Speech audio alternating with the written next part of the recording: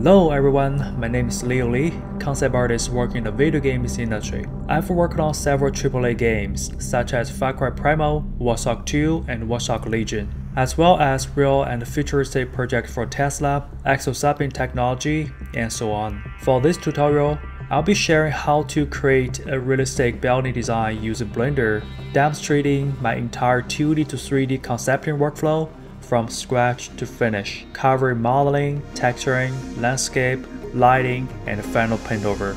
Hope you enjoyed it.